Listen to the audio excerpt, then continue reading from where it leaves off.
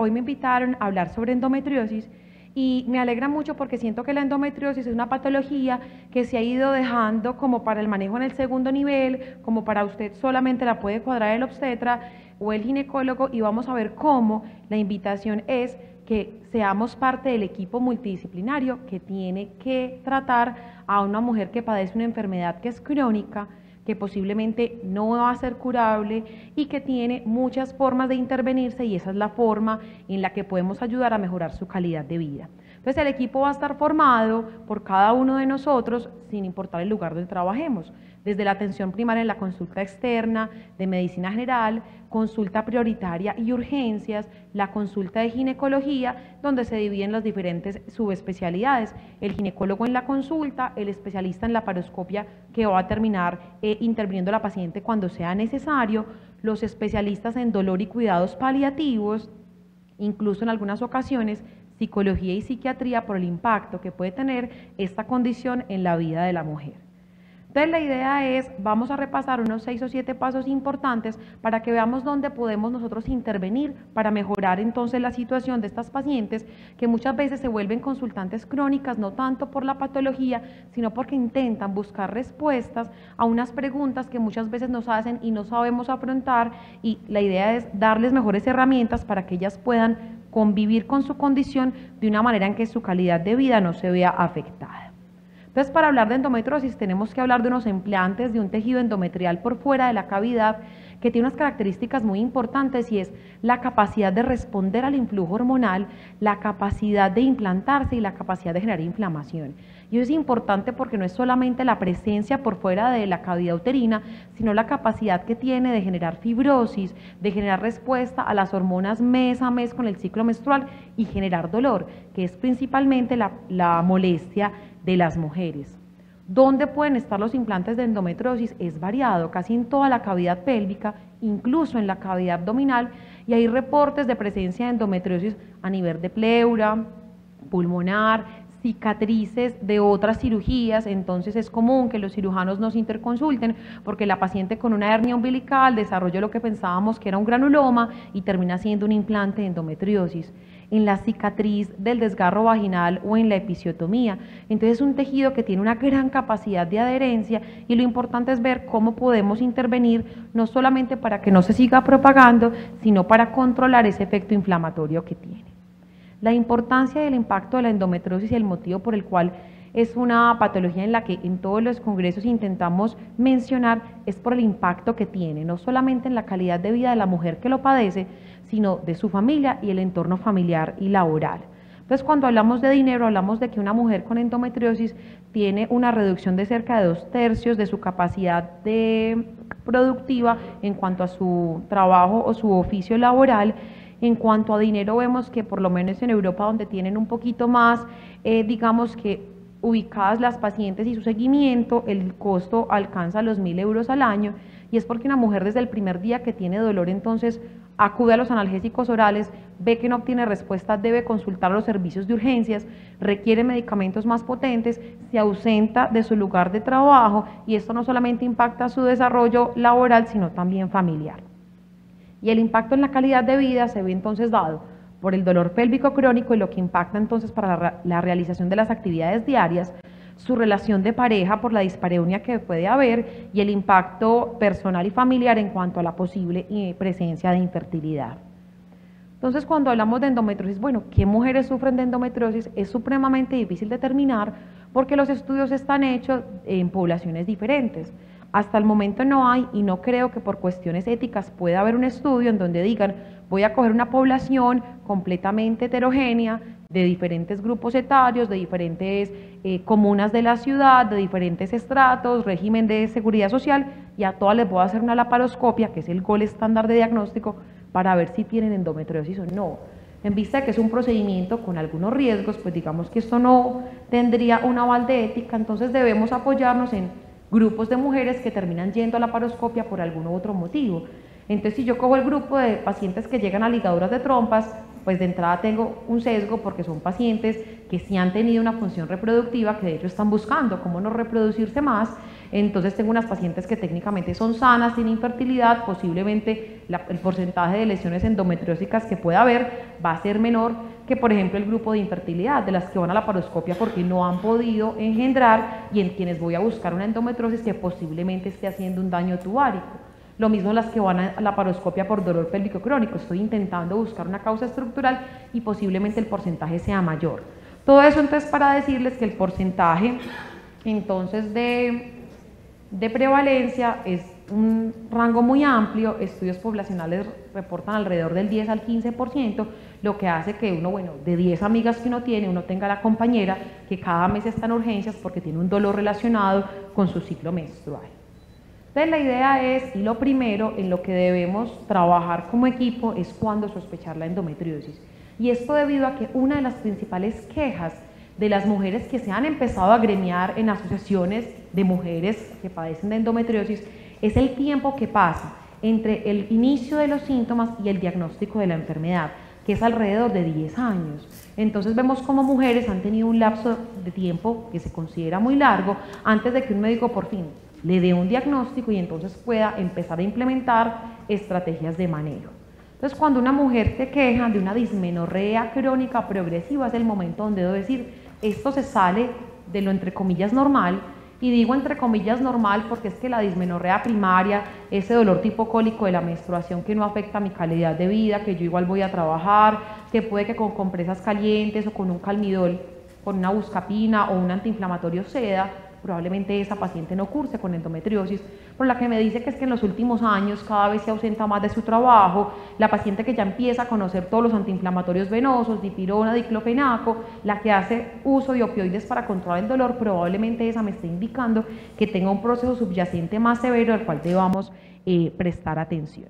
Y no debemos olvidar un grupo de pacientes que vamos a ver en la consulta remitidas por algún procedimiento quirúrgico, que son las asintomáticas, que es un hallazgo incidental. Es que a mí me operaron de apendicitis y el cirujano dijo que yo tenía endometriosis. Y a mí no me duele, no me molesta, me dieron algunos implantes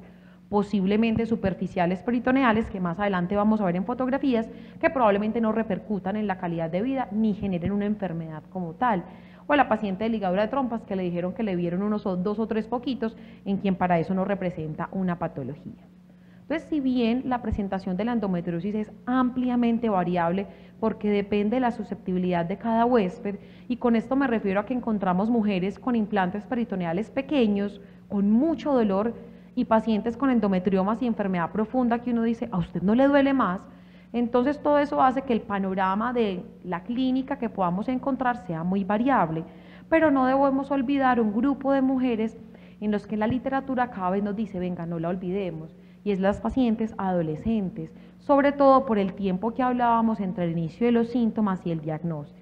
Entonces, la Asociación incluso Americana de Pediatría nos está diciendo, venga, es que si hay un adolescente que tiene una dismenorrea que se considera severa, que tiende a empeorar con el tiempo, se considera por lo menos que requiere un estudio inicial, un abordaje inicial para poder garantizarle que eso que siente pueda estar dentro del rango de lo normal o cuando evaluarlo que haga parte de lo patológico. Entonces, un adolescente que tenga una dismenorrea gravativa, que tenga una dispareunia profunda, que tenga ya dolor con la defecación, síntomas urinarios irritativos, algunas veces es frecuente adolescentes que tienen infección tras infección urinaria y hacemos manejo empírico, no corroboramos con cultivo y puede que lo que termine teniendo son implantes vesicales de una endometriosis que ya está afectando su calidad de vida. Entonces, las agremiaciones cada vez nos dicen, venga,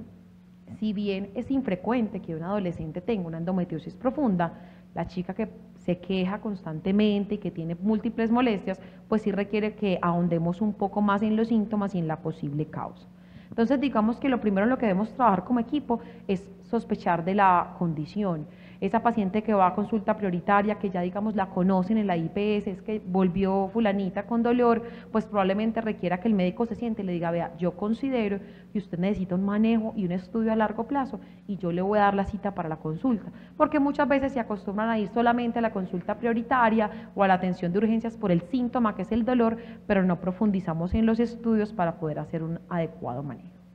Una vez que yo lo sospecho, eh, si bien en las consultas prioritarias y urgencias pues es difícil hacer un examen ginecológico, yo sí tengo por lo menos que pensar en el examen ginecológico como una herramienta que me pueda dar información de cuándo esa condición pueda ser una enfermedad profunda. Desafortunadamente cuando hablamos de examen ginecológico, desafortunado para nosotros, afortunado para las pacientes, la sensibilidad del examen ginecológico, incluso en las mejores manos de mis docentes, por condiciones sea de la paciente, del panículo adiposo, del dolor, no tiene la mejor sensibilidad y en ocasiones vemos como lesiones anexiales de 3 o 4 centímetros no han sido palpadas en ninguno de los exámenes físicos hechos por especialistas. Entonces esto hace que digamos, es que si yo no toque nada no quiere decir que no esté. Si la paciente es reconsultante y reiterativa con el síntoma, pues probablemente yo tenga que considerar unas ayudas diagnósticas adicionales.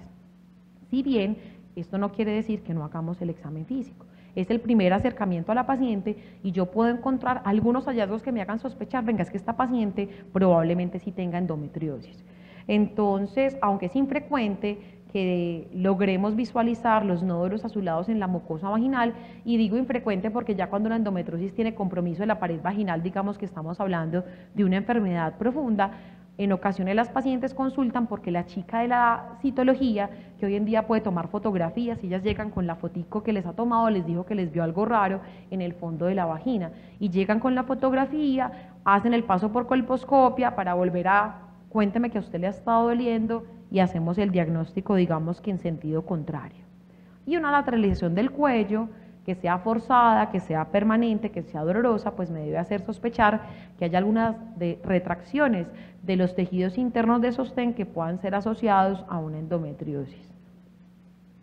Cuando hay un dolor severo, cuando hay síntomas eh, gastrointestinales, debo sospechar que no haya compromiso del piso pélvico y yo para evaluar nódulos rectovaginales necesariamente debo hacer un tacto rectal. Entonces digamos que la idea es, antes de decir, usted no tiene nada, tómese esta buscapina compuesta y váyase para la casa, considerar en qué momento puede estar viendo en el lapso de tiempo de los 10 años a una mujer con un síntoma que ha sido persistente, que de pronto no ha sido abordado de la mejor manera.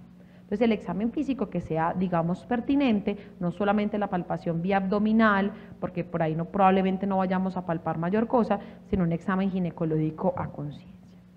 Entonces, eh, si bien el examen físico y la anamnesis nos puede dar muchas pistas, en ocasiones tenemos pacientes muy sintomáticas en las que el examen físico es completamente normal. Entonces debemos pensar y sospechar debido al cuadro clínico que yo tenga que hacer unas ayudas diagnósticas. Y lo importante es que sean cosas que me permitan descartar otras causas. Y otras causas es porque todo lo que duele a nivel de la pelvis no es ginecológico. Y entonces vemos como dentro del dolor pélvico crónico, de las principales causas, están las gastrointestinales, están las urinarias, pero probablemente esa paciente nos va a referir un patrón de dolor muy diferente a la que se queja solamente cuando tiene la menstruación. Entonces el objetivo es descartar otras causas y que me permitan confirmar la sospecha de endometriosis. Entonces en algunas ocasiones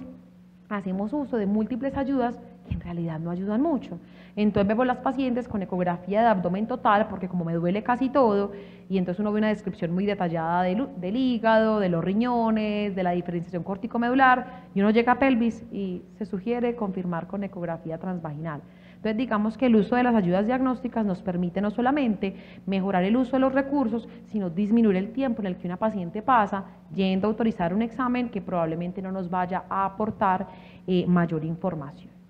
En cuanto a los marcadores serológicos de endometriosis, es mucho lo que se ha discutido, por ejemplo, el CA125. Y entonces ahí empezamos a decir, es que yo no lo puedo mandar porque a mí en XCPS me dicen que yo solamente puedo ordenar tales exámenes. Entonces, en cuanto a endometriosis, si bien es claro que el CA125 como marcador en sangre está relacionado con la enfermedad, no se ha logrado demostrar que tenga un papel ni para diagnóstico ni para seguimiento. El CA125 lo producen las células del peritoneo, de la pleura, del pericardio y cualquier cosa que me genere inflamación o alguna incluso manipulación de este tejido me puede aumentar el CA125. Entonces, si bien las mujeres con endometriosis grave y profunda puede que lo tengan elevado, no sirve o no se ha demostrado que tenga utilidad, ni como seguimiento, ni como diagnóstico de la condición. Lo que sí hace es que puede demorar eh, los estudios de la paciente y aumentar los costos. un escenario diferente en el que muchas veces vemos que los estudiantes me dicen, profe, pero entonces ¿por qué a esta señora con endometriosis le mandaron los marcadores tumorales? Es porque estamos haciendo el estudio de un endometrioma.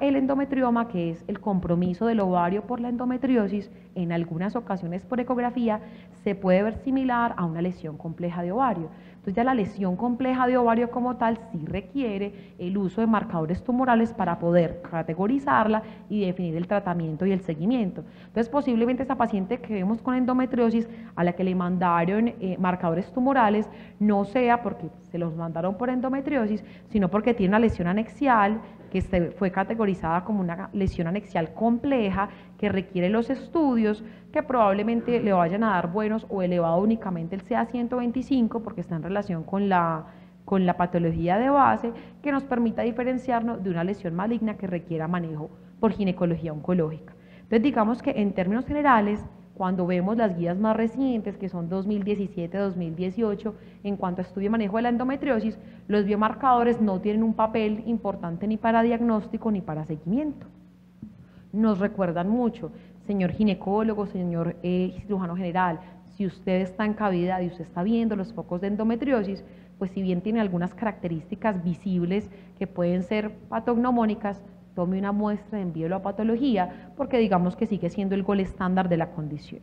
Y no olvidar que la ecografía transvaginal es recomendada para el diagnóstico no solo de endometrioma, sino de la condición. Muchas veces decimos, no, señora con dolor crónico, dismenorrea progresiva, tomografía. Y olvidamos el papel tan importante que tiene la ecografía transvaginal como sensibilidad y especificidad fácil acceso para las pacientes y cómo puede aportar una información que es eh, muy valiosa.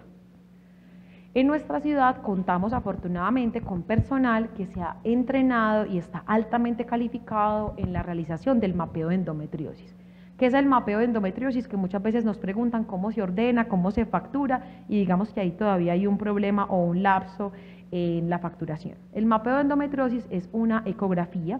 que se hace vía transvaginal, en ocasiones con ayuda eh, vía pélvica, en la que un experto ecografista entrenado en el tema intenta buscar las características y los hallazgos de endometriosis profunda y encontrarlos vía ecográfica. Esto impacta en el costo, impacta en el tiempo, porque la cita con un ecografista es mucho más rápida que una ecografía, por ejemplo, para una resonancia, y los resultados han mostrado que en buenas manos tiene tan buena sensibilidad y especificidad como una resonancia magnética. Entonces en nuestra ciudad muchos de nuestros colegas que trabajan en centros de endometriosis especializados y endometriosis profunda han empezado a utilizar el mapeo de endometriosis como una primera estrategia para buscar esa paciente que tiene uno u otro síntoma que me haga sospechar enfermedad profunda, si la padece o no, y a partir del mapeo de endometriosis mirar qué otras ayudas diagnósticas necesito. Entonces, si por ejemplo me reportan el mapeo de endometriosis la posible presencia de un nódulo que está en contacto con la pared intestinal, pues entonces antes de ir a cirugía, prepararme muy bien y probablemente ordenarle a la paciente una endosona, una valoración por vía colonoscópica para yo anticiparme a la presencia de un nódulo que comprometa la pared intestinal, que indica que ya no solamente debo entrar eh, como ginecología, sino también de la mano de cirugía general. Entonces el mapeo de endometriosis todavía no tiene un código de facturación, la forma de enviarlo pues, es complicado porque casi que toca enviarlo a los uno o dos centros que tenemos en la ciudad. Eh, el costo, digamos que todavía no está en códigos CUPS, pero digamos que en cuanto a los avances mundiales de endometriosis, tenemos personal altamente capacitado para su realización. Entonces ese mapeo no sería para todas, sería para aquellas en las que yo sospeche una endometriosis profunda por signos de compromiso profundo al examen físico, un de endometriomas bilaterales, un útero francamente retroverso con palpación de nódulos en la pared eh, rectovaginal, que haya un dolor intenso que no se ha explicado por otros hallazgos o que tenga endometriomas bilaterales que ya me habla de una enfermedad profunda en la que yo quisiera antes de entrar a cirugía eh, probablemente estadificar el resto de las condiciones de la piel.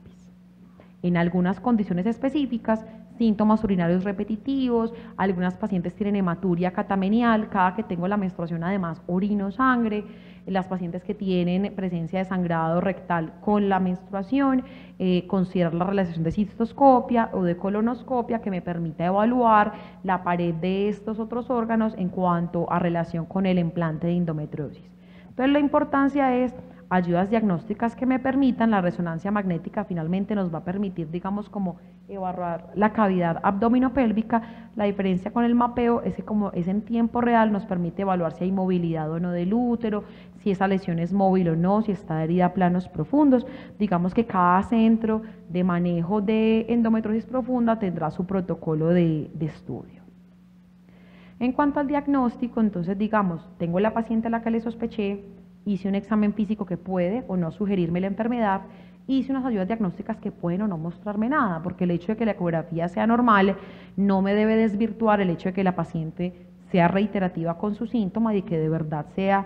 existente el síntoma. Entonces, las guías nos dicen, bueno, una mujer que sea sintomática, con hallazgos sugestivos al examen físico o no, con una evaluación ecográfica que descarte endometriomas de gran tamaño, pudiera ser candidata a recibir tratamiento hormonal luego de la sospecha clínica. Y esto es muy importante porque hace algunos años eh, endometriosis o sospecha de endometriosis era igual a la laparoscopia para poder ver, hacer el diagnóstico y con el advenimiento de la laparoscopia operatoria, ver y tratar. Entonces,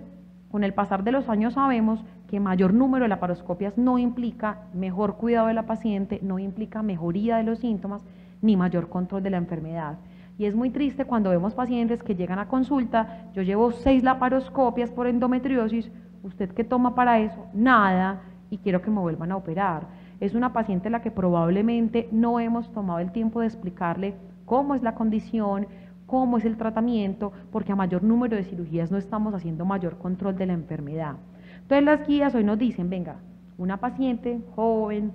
con el síntoma, sin signos de enfermedad profunda, empiece el tratamiento hormonal y de acuerdo a la respuesta, digamos, evaluar la necesidad o no de llevar a cirugía. Entonces, ¿para quién es cirugía sí o sí? Paciente en la que yo tengo una sospecha clínica, no tengo signos de enfermedad profunda, empecé tratamiento como vamos a ver más adelante y no hay mejoría con el manejo médico. Y entonces es muy importante porque la gente y nosotros como médicos esperamos eh, respuestas inmediatas y cuando yo empiezo un manejo hormonal la respuesta por lo menos se verá entre tres a seis meses. Entonces no es señora, si no mejora vengan tres meses que se le acaba la fórmula para operarla, sino vamos a hacer un tratamiento de seis meses, vemos cómo es el patrón de sangrado, cómo mejora el dolor y si no hay mejoría pues francamente tiene indicación de una laparoscopia. Cuando hay sospecha de enfermedad profunda, digamos que de entrada una paciente con endometriomas bilaterales grandes, con un síndrome de herencial severo, posiblemente sea candidata a una laparoscopia de entrada. Cuando estamos en estudios de infertilidad, digamos que tenemos que evaluar la permeabilidad tubárica, cómo podemos liberar las trompas, entonces digamos que la indicación de la laparoscopia hace referencia a esos estudios de infertilidad. Y en cuanto a la enfermedad ovárica, ha sido muy cambiante en los últimos años el concepto de que todo endometrioma se opera, porque hoy en día sabemos que cada que voy a operar un endometrioma, ahorita más adelante les muestro la fotografía, estoy, em, estoy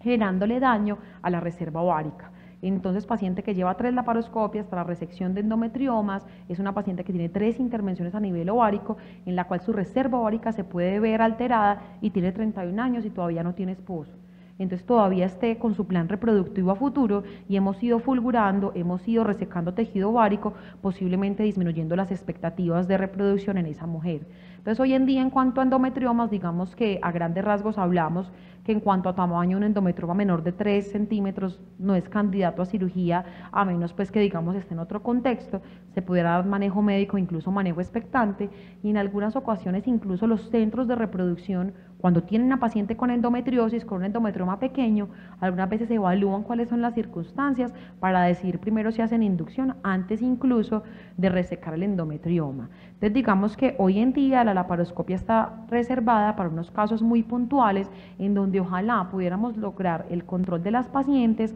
antes de llevar a procedimientos invasivos. ¿Qué se ve en una laparoscopia? Cuando ustedes encuentran un reporte del especialista o una descripción operatoria. Si nos dicen que hay implantes peritoneales, superficiales, una endometriosis grado 1, nos están diciendo que están viendo estas pequeñas vesículas,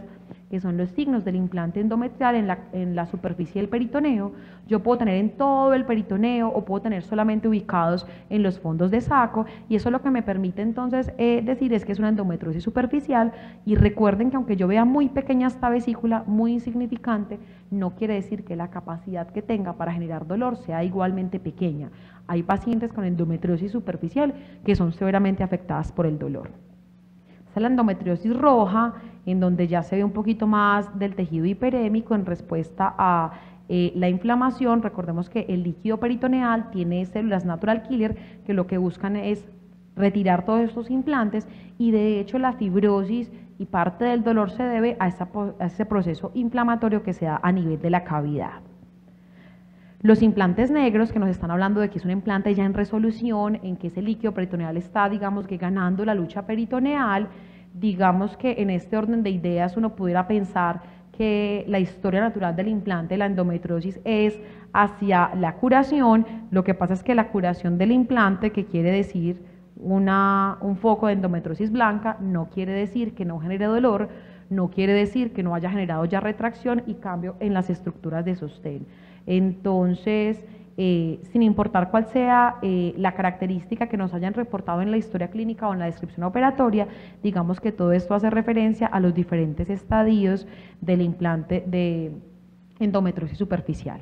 Cuando hablamos de endometrioma estamos hablando de un ovario, que es la parte blanca que vemos, con una cápsula y un contenido hemático color chocolate. Eso es lo que hacemos referencia con endometrioma. Cuando uno le dicen es que a mí me operaron un endometrioma, quiere decir que un cirujano muy experto abrió mi ovario, drenó eh, el material, idealmente retiró la cápsula e indiscutiblemente ese ovario se ve afectado entonces en su calidad reproductiva y en la reserva ovárica. Entonces, mientras yo menos tenga que ir a hacerle esto a un ovario de una paciente que por lo menos todavía no tenga paridad satisfecha, si yo puedo hacer manejo hormonal o manejo médico, posiblemente le estoy dando mayores alternativas a la mujer. Entonces, hoy en día sabemos que el número repetido de laparoscopias no está relacionado con mayor control de la enfermedad y lamentablemente las mujeres que han sido diagnosticadas hace más de 10 años, que ya llevan varios procedimientos, como ellas sí gozan de mejoría sintomática luego de la cirugía, digamos que tienen expectativas altas en que las volvamos a operar. Entonces, explicarles cómo cada cirugía puede generar mayor síndrome adherencial y mayores riesgos para ellas es difícil en cuanto a las expectativas que ellas tienen. Y es supremamente hablar del manejo médico después de una cirugía, que es donde jugamos el papel desde la consulta de la atención primaria. Las órdenes que puede dar el especialista son de tres meses en la mayoría de EPS, no queriendo decir que el tratamiento sea por tres meses. Hacemos manejo multidisciplinario porque es que te ve el médico en la consulta, tu médico familiar te ve cada mes o cada tres meses para formularte, pero el especialista te puede ver cada seis meses o incluso cada año cuando la enfermedad está controlada. El objetivo del tratamiento quirúrgico, que es principalmente para endometriosis profunda, de la más común que es el endometrioma, es aliviar los síntomas cuando la masa es grande, compresiva, prevenir complicaciones, que no se vaya a torsionar o a romper y mejorar la fertilidad en los casos en los que la paciente esté en búsqueda de ella. Entonces es importante tener en cuenta que hay un manejo conservador y un manejo quirúrgico y si hoy en día yo tuviera endometriosis y no tengo hijos y quisiera preservar entonces mi estado ovárico, probablemente quisiera que me hicieran un manejo más conservador. La clasificación de la enfermedad rara veces la vamos a observar porque pues rara vez nos envían el, el informe quirúrgico, pero entonces podemos encontrar como si hay un laparoscopista muy juicioso nos puede hacer el gráfico y las imágenes para mostrarnos dónde están los implantes peritoneales y que esto nos puede dar entonces unas pistas mayores sobre si el implante está en la pared eh, recto, entre el espacio uterino entre el espacio recto vaginal, digamos que para poderlo relacionar un poco con la clínica. En cuanto al tratamiento de la endometriosis, para terminar, digamos que es muy difícil poder decir que haya una receta, por así decirlo, de cocina en la que podamos meter a todas las pacientes. ¿Por qué? Porque este tratamiento va a depender de la edad y las expectativas reproductivas de la paciente, de si me deseo embarazar ya o no, de cuál es el grado de la enfermedad y sobre todo de la severidad de los síntomas. Pacientes muy asintomáticas muchas veces pasan con diagnóstico de endometriosis y a mí nunca nadie me volvió a ver porque como eso no me molestaba mucho, entonces eh, debemos tener en cuenta todas estas circunstancias de edad y deseo de embarazo para poder elegir la mejor opción de tratamiento, que puede ir desde el tratamiento analgésico, hormonal o la cirugía. Dentro del tratamiento no hormonal es muy importante tener en cuenta algunas consideraciones. Entonces tenemos en cuenta los antiinflamatorios no esteroideos, las medidas locales que por el hecho de que no sean farmacológicas no quiere decir que no funcionen, los opioides y en algunos casos inhibidores de recaptación de serotonina para el manejo del dolor cuando se vuelve un dolor pélvico crónico. Entonces, ¿qué sucede con esto? Que esto es un ensayo-error. Ensayo-error es porque yo decir a la paciente, usted cuénteme que usted qué ha tomado para yo poder hacer, ¿cierto? Un enfoque. Si la paciente me dice que toma buscapina compuesta y que antes le servía, pero ahora no, debo evaluar cuál ha sido el régimen de uso del medicamento y por cuánto tiempo lo ha usado. Probablemente yo le deba enseñar que el uso de AINES se beneficia antes del inicio del dolor para cuando ya espera la menstruación. Y por un ciclo, no solamente por síntomas. Me tomé una hoy, me acosté, me mejoré, mañana me levanté mejor, no me la tomé, sino por lo menos por un ciclo de tres a cuatro días continuo en el que yo realmente bloqueé la liberación de de, ya voy a terminar, de prostaglandinas. Entonces, traer en cuenta principalmente manejo con AINES, la paciente que va por urgencias, que le damos una iosina, pues probablemente le pueda mejorar el dolor, pero dentro de la fisiopatología inflamatoria de la endometriosis probablemente se beneficie de que adicionemos un antiinflamatorio potente. Mucho cuidado con los opioides. Son pacientes que tienen alto riesgo de hacer dependencia a opioides y como entonces encuentran beneficio del dolor, empiezan a hacer consumo crónico de tramal y luego es difícil desmontarlas a otras terapias. Eh, para manejo del dolor. El objetivo es hacer una analgesia que sea multimodal, entonces que yo pueda combinar antiinflamatorios cuando es necesario, inhibidores de recaptación de serotonina y muy de la mano del especialista en dolor y cuidados paliativos, porque son mujeres que se benefician de manejos a largo plazo y de tratamientos analgésicos que probablemente se escapen a nuestro manejo convencional. Para último, para terminar, el manejo hormonal es fundamental. La endometriosis es una enfermedad hormonodependiente y en la medida en la que yo pueda controlar precisamente el ciclo de la paciente, voy a controlar el proceso de la enfermedad y para eso tengo anticonceptivos orales combinados, solo progestinas o dispositivos. Rápidamente para hablar de ellos, tenemos disponibles en el mercado diferentes e innumerables anticonceptivos orales combinados. Todos los ellos van a cumplir el objetivo de hacer un bloqueo del eje, de generar un estado progestacional, porque el progestágeno tiene mayor impacto que el estrógeno en esta administración y en las pacientes se benefician de la supresión de la ovulación y de la menstruación. Entonces el objetivo del anticonceptivo es intentar suprimir la menstruación. Al suprimir la menstruación, hago no solamente que el endometrio de la cavidad uterina, sino los implantes que están por fuera tengan menor, menor influjo hormonal y la elección del medicamento va a quedar a criterio del médico y del paciente. ¿Y por qué lo recuerdo? Porque es sumamente triste ver pacientes que le dicen a uno, es que yo no puedo pagar más el tratamiento que me mandó el doctor, es que X pastilla me vale 60, 70, hoy con la regulación 20, 25 mil, pero recordemos que es que hay mujeres para las que 25 mil descuadra cualquier bolsillo cada mes y entonces lo pueden mantener por tres meses, pero al cuarto mes no, y entonces nos disgustamos porque no hizo el manejo crónico que queríamos de seis meses. Entonces, alternativas que están dentro del POS, muy económicas, como el combinado de trilistrol y levonorgestrel, puede ser la primera perfecta mejor opción para una paciente. Se lo da a la EPS, puede hacer el manejo y yo prefiero tenerla controlada durante los seis meses a que me tome un mes sí, un mes no, un mes sí, un mes no, de otro compuesto que por ser eh, diferente y por fuera del POS sea más costoso, pero que probablemente no le vaya a aportar diferencias en cuanto a la mejoría, porque lo que busco es supresión de ovulación y de menstruación. De moda y, e importante, ciclos de régimen extendido, menstruar cada tres o cuatro meses, eso me permite disminuir el número de episodios que la paciente tenga dolor no hay ningún problema ni ninguna contraindicación. La guía europea de anticoncepción de este año, de febrero, incluso dijo ciclo continuo indefinido. Si la paciente aprende a tomar píldoras continuas todo el tiempo, las puede tomar hasta cuándo? Hasta que haga spotting. Y cuando haga spotting o manchado, le digo, suspenda cuatro días y vuelva a empezar. Y los estudios, aunque no son muy grandes y no son muchos, demuestran que el consumo continuo de anticonceptivos, digamos que no supone mayor riesgo que el típico esquema 21-7 o los esquemas extendidos que se vienen usando en los últimos años.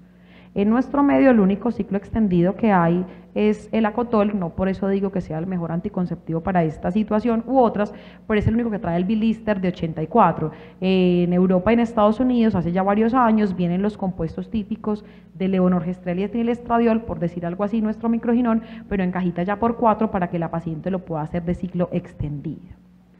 La paciente que no puede tomar anticonceptivos orales combinados también puede tomar progestágenos solos. Los progestágenos solos también tienen evidencia de mejoría. Los mayores estudios porque son hechos por la casa farmacéutica Visana y Dienomed, que están en el rango de los 80 mil pesos. Entonces, incluso uno dice 80 mil pesos cada 28 días, probablemente sea costoso. La guía nos dice es que no tiene que ser solamente eso, puede ser acetato de medroxiprogesterona, puede ser cualquier otro progestágeno, solo el que yo pueda dar, con el objetivo que de suprimir la menstruación y hacer control de los implantes hormonales. El dispositivo eh, intrauterino endoceptivo tiene la limitación que no tiene la aprobación de INVIMA para endometriosis, entonces si lo formulamos de esa manera no se lo van a autorizar, no queriendo decir que no funcione para ello. Tiene múltiples estudios que lo respaldan por la menorrea que produce y por el control local a nivel uterino. Entonces es una buena opción para la paciente. Uno que lo puede comprar Dos, para la paciente que tiene dentro de la endometriosis un contexto de hemorragia uterina normal, porque por hemorragia uterina normal sí lo autorizan las aseguradoras, pero digamos que es una buena opción a largo plazo en una paciente que no busque fertilidad. Y ya manejos más especializados, donde buscamos bloquear el eje con agonistas o antagonistas de GNRH, que digamos que son manejos a corto plazo, muy seleccionados por los efectos adversos que pueden tener, y digamos que es la paciente que ha tenido falla a manejos alternativos. En resumen y para terminar, son múltiples las opciones donde podemos intervenir a la paciente en cualquier momento con el objetivo de mejorar su calidad de vida. Entonces, más que dar un analgésico y enviarle para la casa, la invitación es volvámonos parte del equipo. Señora, venga, cuénteme usted por qué consulta tanto, a usted nadie la ha visto, yo le voy a dejar una orden de una ecografía para que usted la puedan ver. Si soy el de prioritario y solo tengo 15 minutos, si soy el de consulta externa, venga, permítame, yo le evalúo, le voy a empezar un tratamiento, que toma idealmente seis meses iniciales para ver si responde, mientras le autorizan la cita con el especialista. Y una vez que ha sido vista por especialista, señores, que yo la voy a seguir viendo a usted, la voy a seguir formulando mientras el doctor la vuelve a ver en seis meses. Entonces la idea es seamos parte de un equipo donde podamos mejorar la calidad de vida de las mujeres, porque es una enfermedad que no solamente agobia, sino que afecta calidad de vida. Nadie se muere de endometriosis, pero la calidad de vida sí se ve severamente afectada. Muchas gracias. Nuestra salud es un preciado derecho que todos debemos cuidar. Por eso, hagamos un alto para proteger la salud de todos. Los desechos hospitalarios son de cuidado. Requieren una manipulación y clasificación determinada y especial de personal idóneo que garantice su adecuada disposición final para nuestra seguridad y la de las personas que nos rodean. Informes por una Antioquia sana, cero tolerancia al manejo irresponsable de desechos hospitalarios. En caso de observar o advertir una inadecuada manipulación, denuncie el hecho a la línea 018 419 000. Secretaría Seccional de Salud y Protección Social de Antioquia, Gobernación de Antioquia. Antioquia piensa en grande.